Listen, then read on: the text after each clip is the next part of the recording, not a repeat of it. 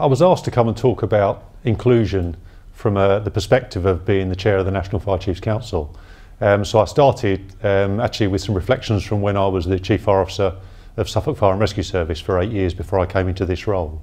Uh, and the, the importance of this fire service, both internally and externally, being an inclusive organisation, about the fact that the quality of the decisions we make um, is reflective of the collective intelligence that goes into how we make those decisions. And what I mean by that is the different perspectives that people bring from right across the organisation, including at the most senior level, where you bring perspectives of different backgrounds, different work experiences, different life experiences, uh, and all the perspectives that come with different protected characteristics as well.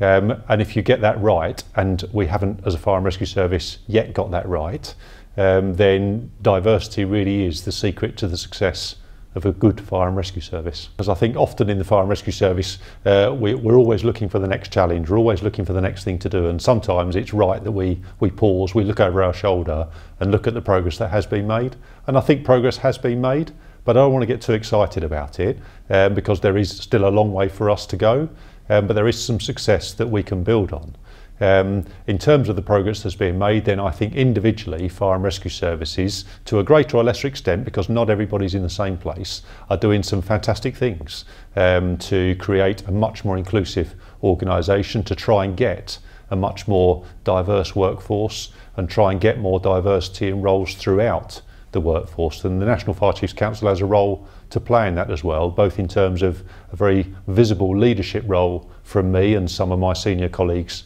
who work in these areas. Uh, but equally, some of the products and the guidance that we provide services uh, that enables them to take those and then use and apply those in their own organisation to, to improve the inclusive nature of the service. But I would sort of conclude on that one by saying there is still more for us to do. Uh, we do still need to better reflect the communities in which uh, we operate uh, and we do need to have um, more creativity and diversity within the organisation in terms of the people within it and how we make decisions within it as well. AFSA plays a really important role, as do other similar organisations, um, Women in the Fire Service being another obvious example. Um, you're often the, the catalyst and the voice for some of these discussions. I've come to the conference today and there is a fantastic atmosphere, a fantastic buzz in the room. There are 250 people, something like that here, um, and you're hearing and we are hearing from a broad range of speakers. Um, so has a really important role to play.